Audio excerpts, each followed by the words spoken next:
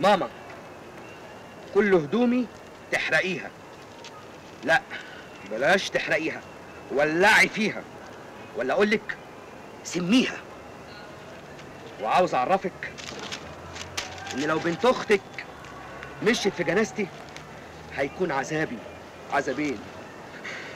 وعاوز أعرفك كمان طريقة انتحاري. إنها طريقة السقوط من أعلى. وقد جاءتني هذه الفكرة من التلفزيون من فيلم بين السماء والأرض.